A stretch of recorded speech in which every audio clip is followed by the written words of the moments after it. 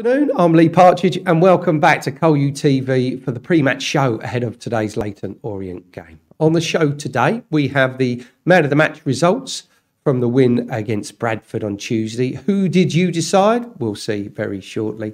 We'll also be hearing from one of the stars of that game, Al-Amin Kazeem, getting his thoughts on uh, today's game and uh, the game the other night. And also, we'll be looking at a previous game against Leyton Orient that we've played in. Firstly, let's get the pre match thoughts of Colchester United's head coach, Wayne Brown.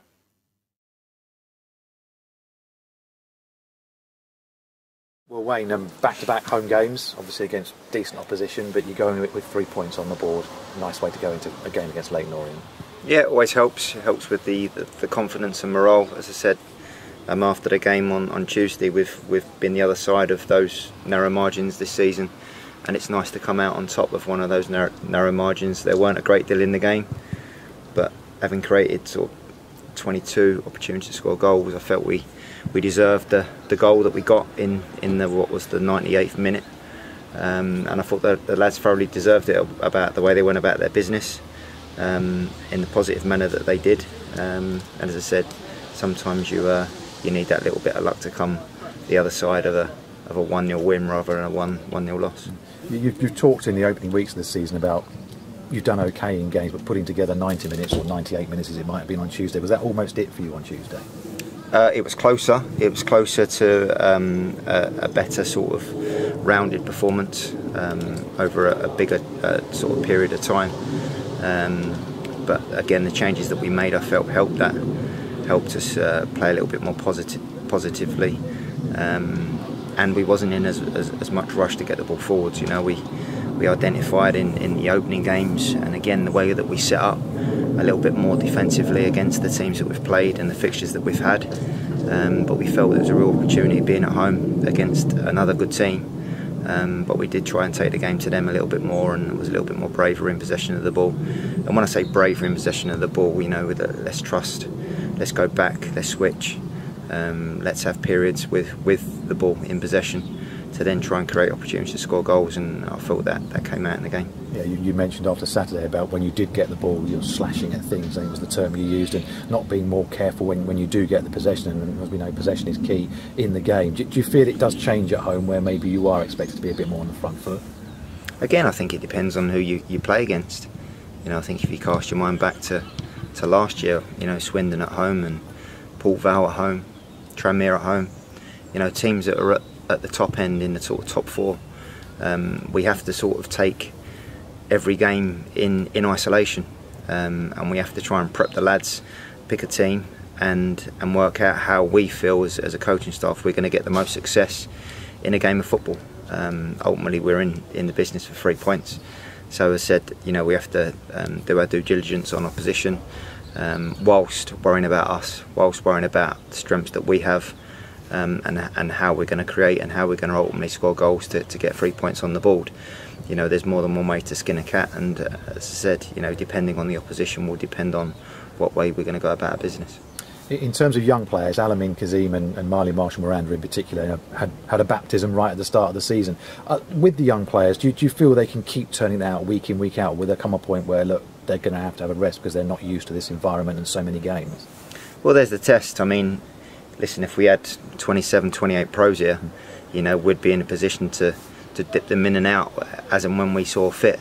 Um, at the moment, as I say, we've got a few injuries, um, which is, is, is obvious, obvious to everybody.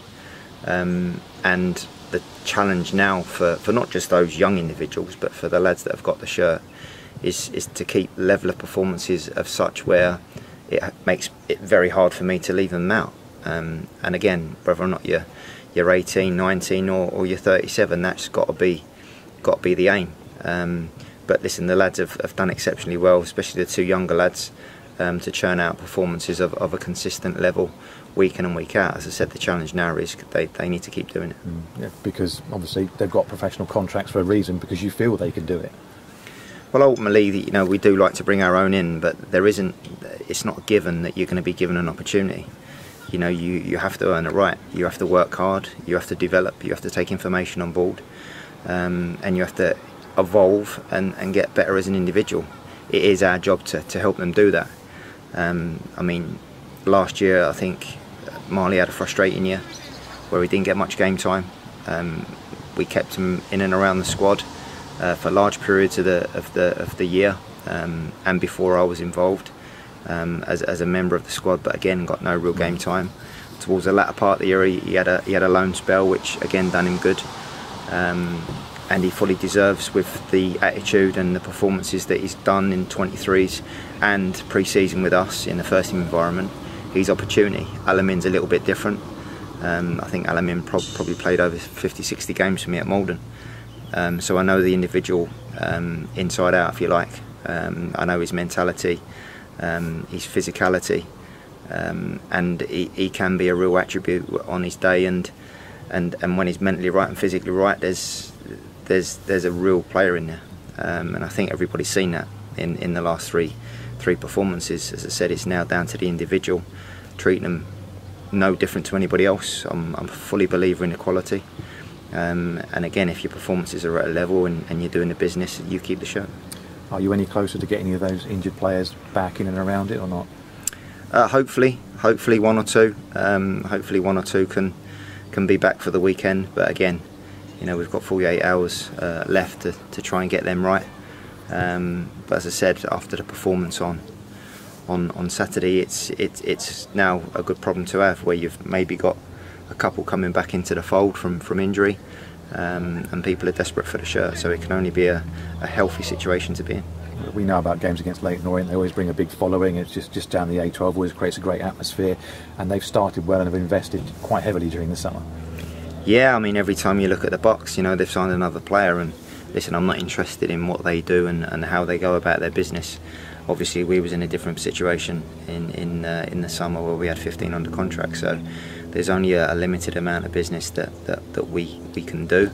Uh, we are still looking to do some business before the window shuts, and we've been very proactive in, in doing that. But as I said, we need to identify the quality um, that, that we need to bring in and, and see who's out there um, that's an ever evolving situation. Um, obviously, Orient have, have, brought a lot, lot of players in. They've obviously had a good pre season, they've been away, uh, they've had time to work with the new recruits that they've brought in, um, and they've had a good start. But ultimately, we're not worried about, about them and, and who they've got and, and, how they've played. It's, it's about us being at home, um, especially, um, and about how we're going to take the game to them and, and, and ultimately try and replicate the standards that we've set on Tuesday night. Just finally from me, if you, even if you take away the, the, final couple of minutes where you get the late winner on Tuesday night, I thought the atmosphere was really healthy around the stadium and really positive. Did, did, did the players and yourself feel that as well? Yeah, there was a buzz. Um, I think that the slickness, slickness of the surface helped. Uh, both teams passed the ball. Um, I thought that was a massive, massive difference. Um, and it was um, you know evident that there was there was more noise in the stadium. Um, the, the, the, the, lads obviously noticed it. Um, the, the, fan base that we have at home is going to be a massive part of this season of, of being our of being success. Um, obviously, we struggled last year at home uh, with our home form, um, so it's always nice to get three points in what's our what second game at home this season. Um, to get three points on the board, it's it's now we need to now try and back that up um, keep the noise in the stadium um, loud, and that always helps when you're, you're performing well uh, of a standard. Um, because you know they're going to have a massive part to play, and they did have a massive part, part to play on Tuesday, right until the, the 100th minute um, of the game, um, and that proved the case of, of, sucking the ball into that net, um, and it just showed how much it meant to the lads with the celebrations at the end. You know, making sure that they stayed in and around the fans for a good period of time. Um, and made sure that we all celebrated the goal together. Yeah, because when, when John McGreal was here a few years ago, he talked about the connection between the club and the players and the fans and how important that is. And you, you say keep the noise loud in the in the ground, keep it positive. Yeah, that's right. Um, Even when things aren't going right. It's always easier to do that when you're performing well because they have got something to cheer about. But ultimately, there, there needs to be a bit of realism in the fact that sometimes, you know, Carlisle at home, for example, um, we didn't play real fluent football. That's going to be the case, home and away. Uh, we're not going to play fluent, football for 90 minutes, but then the reaction that we showed in the second half in that game in particular there was more noise in the second half because we had more territory, we was getting more final third entries, we was getting more attempts at goal. Um, so it is tough as a, as a supporter. Um, obviously, frustrations were had away to Stockport. Um, but again, there needs to be a bit of realism sometimes. Um, the, the, the, support was fantastic at Stockport. Um, but win, lose or draw, you know, they're, they're going to be massive um, to get behind the lads. Uh, to help us maybe get out of a hole sometimes in, a game with, with how positive they can be on, onto the lads. because when you're winning, it's great. Everyone's loud, everyone's positive uh, win, lose or draw, we, we, we need to be positive to try and get results. Um, and as you've seen Tuesday night, it might take until the, the 90th, uh, 98th minute for us to do that. Um, so it's just about being patient and, and, getting behind the lads when, when they can. And, and in the main, they've they've been spot on ever since we've been in the environment. Um, you know, last year when we came in the 22 games that we had, they were definitely a, a, massive part of us helping us achieve what we, we set out to do, which was survival this year we want to achieve um, and not survive, um, and they're going to have a massive part to play in it.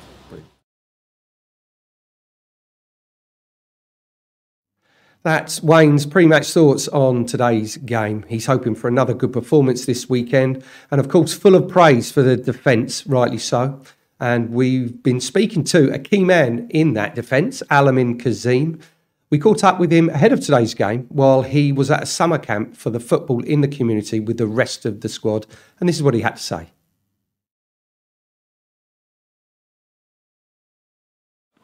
Our season only a few uh, games old. You must be really pleased with uh, sort of how it started for you.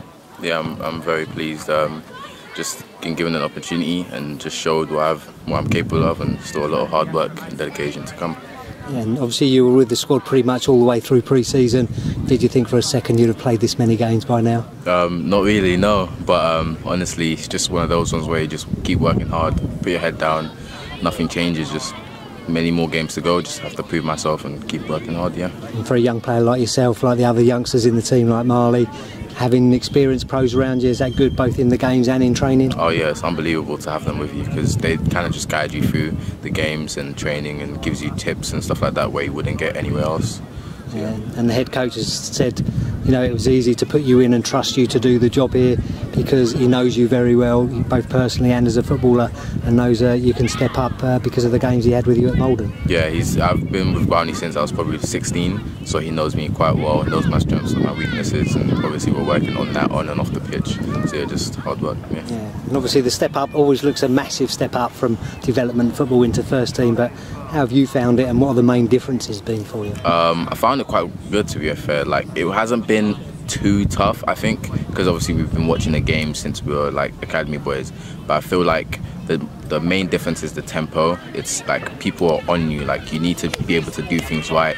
Don't back out of challenges. Um, be able to be a, a leader in your own role. Um, kind of thing, and just just working hard. Simple as that. Yeah. And the, the physical side of it hasn't looked like it's phased you at all either. You look like you enjoy as you say, you know, getting stuck in and making those challenges. Yeah, I, I do enjoy it. It's just one of those things where um, it's one of the things you can't really work on as a player is hard work. And when you see a challenge that you need to go for, just just go for it. You know what I'm saying? And obviously, you've got in the team, you're holding down your place at the moment. But you'll know as well as everyone else that you know the hard work doesn't stop, does it? Either on the training ground. No, it doesn't stop. Just I'm just looking forward to the future and keep working hard and see where it leads. There's the pre-match thoughts there from Al-Amin Kazeem. Now it's time for the man of the match from Bradford's game, and you decided the winner was going to be that man himself, Al-Amin Kazeem in first place, closely followed by Tom Eastman, and in third place, Marley Marshall Miranda. Well done to all of those guys, and thank you for voting. After the game today, please do go to colutickets.com to once again vote for today's man of the match, and that will be live until Sunday lunchtime. Just before I go and you make your way to your seats to cheer on the lads, a quick reminder that tickets are on sale for the Cup game against Premier League opposition Brentford on Tuesday. Once again, go to colutickets.com.